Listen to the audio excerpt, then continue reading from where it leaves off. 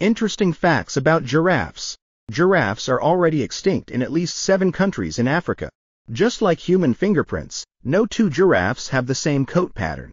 Giraffe tongues are bluish purple and between 45 and 50 centimeters long.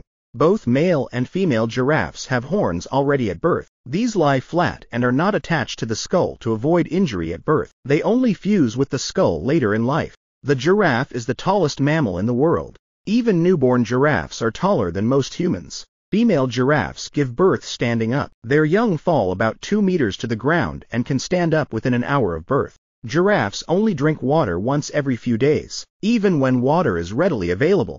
A giraffe's heart weighs approximately 11 kilograms, almost 25 pounds.